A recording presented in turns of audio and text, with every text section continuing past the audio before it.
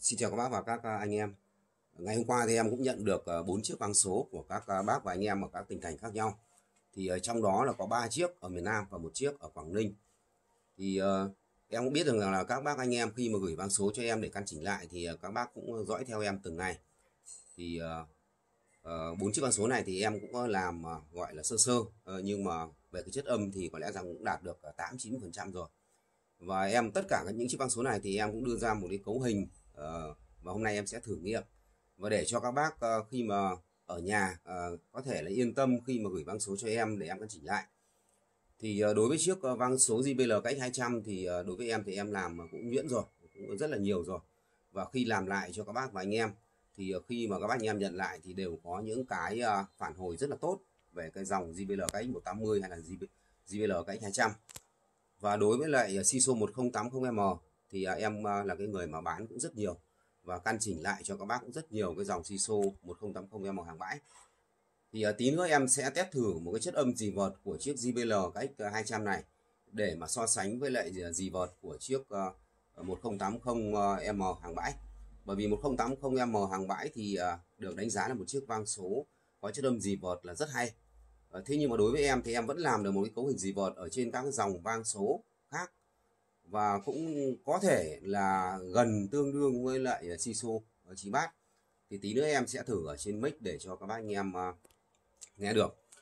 Và một chiếc vang số ờ, của hãng BTE model là X9H của một chú em chú ấy ở trong miền Nam thì chú có gửi cho em kèm theo cả cái bộ mic này nữa. Và tí nữa là em sẽ test thử bốn chiếc vang số này thông qua cái bộ mic ờ, của chú em này. Đây là một bộ mic chất âm cũng khá hay. Thì chiếc ờ, vang số BTE Ờ, uh, X9H này là của cái chú em này chú đi làm uh, gọi làm xô tức là phục vụ cho bà con cá hát biệt vượt. Thì ờ, uh, chúng ấy có nói chuyện rằng là uh, nó hay bị rú rít uh, và cái chất âm thì nó cũng không đạt yêu cầu.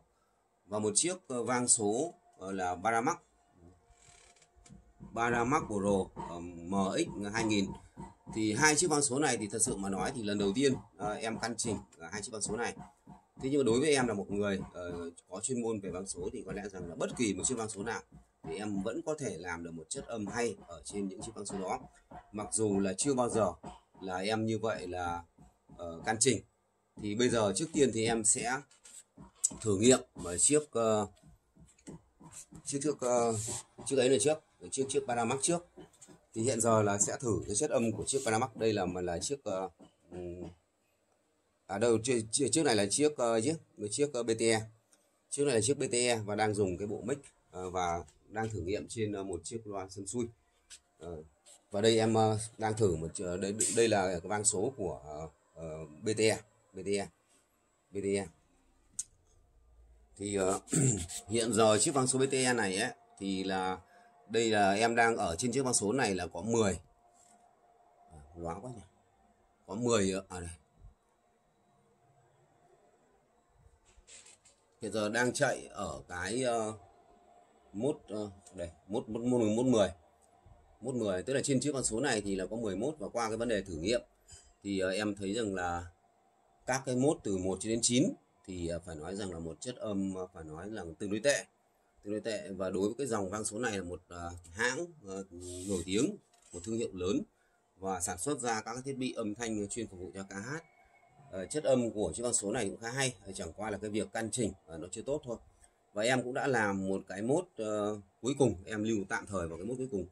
Uh, chú này chú yêu cầu làm uh, 561 đấy.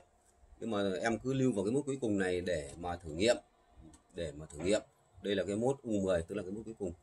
Tuy còn uh, các cái mốt uh, từ 1 đến 9 thì vẫn là cái mốt uh, cũ của uh, chiếc con số này. Thì bây giờ em sẽ alo trên mic bằng uh, cái, cái, cái, cái, cái bộ mic của chú này luôn và bằng chiếc loa sân xui này. Bốn bảy mười hai ba năm sáu chín. Bốn bảy mười hai ba năm sáu chín. Tiếp đến thì em sẽ alo chiếc uh, vang số của hãng uh, Đây. bây giờ em sẽ alo uh, ở trên mic uh, bằng uh, chiếc vang số uh, và bây giờ là mic uh, sẽ chuyển xuống chiếc vang số cuối cùng là chiếc Panamax và tín hiệu là chuyển thì bây giờ em lại alo trên mic uh, bằng cũng bằng cái uh, mic này tức là cái mic này sẽ thử nghiệm cho bốn chiếc vang số này bốn bảy mười hai ba năm sáu chín bốn bảy mười hai ba năm sáu. Chín thì uh, bây giờ em lại chuyển sang uh, chiếc vang số ờ, uh, 1080 này. Chuyển sang chiếc vang số 1080 này để cho các bác nghe được cái chất âm gì vợt. Chất âm gì vợt ở trên chiếc 1080 và tí nữa em sẽ alo ở trên mic. Ở chiếc vang số JBL cũng cái cấu hình gì vợt. Bây giờ là cái chiếc vang số 1080 M hàng bãi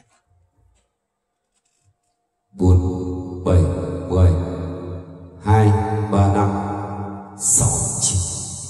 Bốn, bảy, mười. Hai, ba, năm. Sáu, chín.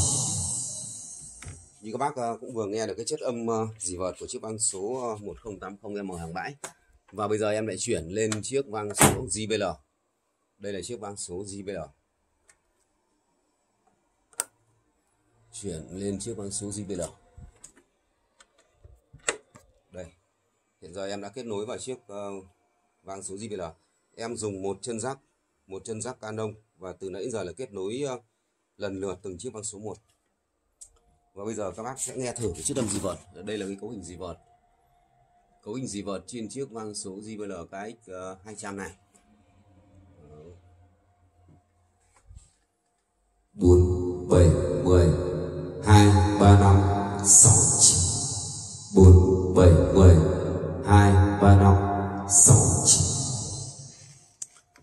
Các bác. Và anh em cũng uh, vừa nghe được là em mà test thử ờ, bốn cấu hình trên bốn chiếc vang số mà em đã làm sơ sơ cho các bác và anh em gửi đến cho em để em căn chỉnh lại. Thì uh, để mà làm một chiếc vang số hoàn chỉnh uh, từ uh, 4 trên 6 cấu hình thì uh, mất khá nhiều thời gian. Nhưng mà em biết rằng các bác anh em cũng uh, sốt ruột uh, cũng uh, rất là uh, mong muốn là như vậy là chiếc vang số của mình khi mà gửi đi làm lại thì cái chất âm nó thay đổi uh, như thế nào thì ờ, em cũng ờ, cố gắng làm ờ, tạm một cái cấu hình gọi là được tám chín phần trăm. Và trước khi gửi tới các bác anh em thì em phải giả soát lại, cái nhất là làm thêm các cấu hình khác nhau để cho các bác anh em sử dụng cho nó dễ. Bởi vì tính chất của bộ dàn thì mỗi một bộ dàn nó sẽ có những cái tính chất ừ, về cái âm sắc khác nhau, từ mic, từ loa cho đến đẩy thì nó có cái âm sắc khác nhau. Thế cho nên em sẽ làm các cấu hình khác nhau để cho các bác anh em khi mà sử dụng thì sẽ gọi ra để cho nó phù hợp với lại tính chất của bộ dàn ờ, của các anh em đang dùng.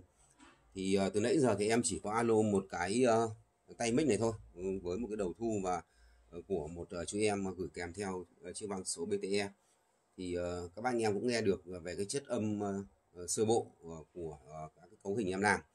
Thế còn để mà gọi là nghe thử một chút thôi, các cái cấu hình cũ rồi cụ thể như là chiếc BTE X9H này chẳng hạn thì các bác sẽ biết được là cái chất âm ừ, của các cái cấu hình cũ nó như thế nào. Đây là chiếc BTE hiện giờ em đang cắm lại cắm vào chiếc BTE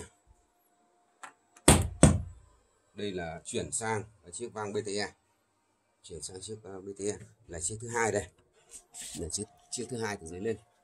Thì cái cấu hình cũ thì uh, sẽ gọi nó ra. À, ấn vào menu này chỉ bằng số này ấn vào menu. Và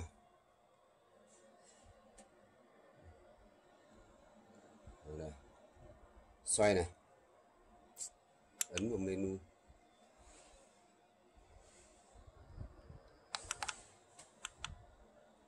Đây.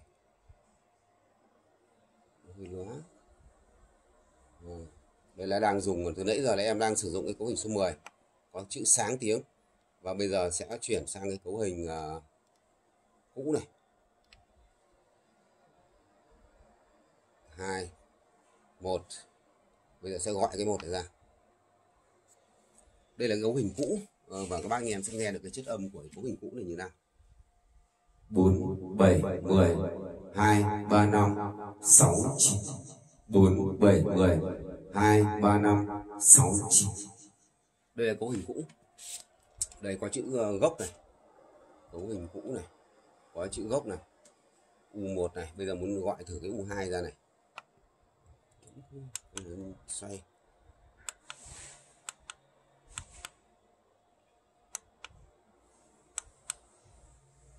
Xoay.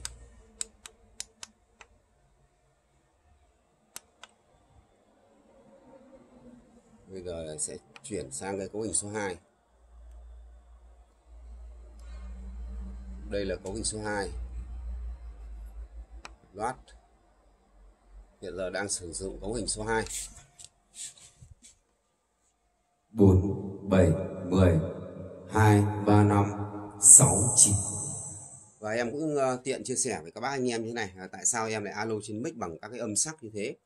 Bởi vì cái 4 7 10 là nó thể hiện về cái giải âm trầm và trung trầm. Cái 2 3 5 là nó nó thể hiện về cái uh, âm sắc của giải trung và cái 69 là nó thể hiện cho cái giải hàm sắc của cái giải chép. Thì cái 4 ừ, cái một và cái 4 là nó phải có cái độ tròn gọn. À, cái 7 là nó phải có cái độ nảy và cái 10 là nó phải có cái độ uh, mềm và và nó xuôi dần xuôi dần về cái phần âm sắc. Còn cái hai thì nó phải có một cái tính chất là rõ ràng nhẹ nhàng. Hai ba là phải rõ ràng nhẹ nhàng. Và cái năm là nó phải có một cái độ vang. Nhưng mà cái độ vang của cái âm năm năm ấy nó đừng quá mức. Ờ, nó đừng đanh quá thì còn ờ, cái 6 và 9 thì cái 6 nó phải có cái độ nhuyễn. Khi mà thử âm thì cái 6 nó phải có độ nhuyễn. Ờ, và cái 9 thì nó phải có, có cái độ tròn độ độ gọn của cái âm sắc ờ, của cái cái cái âm 9 chứ còn nếu như mà 6 cái âm 6 mà nó nó gọi là là quá sắc hoặc là nó quá đanh quá gọn thì là như vậy. Khi chúng ta hát thì à, chúng ta cảm thấy là chất âm nó thiếu đi cái sự mềm mại. Thế cho nên rằng là đấy cũng là một cái phương pháp mà khi em căn chỉnh vang số cho các bạn anh em thì à, em sẽ thử nghiệm bằng như thế. Ờ, chứ không, em mà không ale ale ờ, ale ale thì nó chỉ là à, thử được cái độ vang thôi. Còn để mà có một cái chất âm ờ, mà nó gọi là đúng với lại chất âm của mình tự nhiên tình cảm, thì chúng ta phải alo bằng cái chất âm mà giọng nói, giọng hát của chúng ta. Đấy là một chia sẻ nhỏ của em khi mà em căn chỉnh vang số cho các bác và anh em.